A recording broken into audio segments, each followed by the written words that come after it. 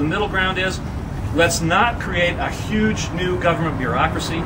Let's create reform of the security system, the derivative system, and let's create a process by which we end bailouts, and that's where the middle ground should be.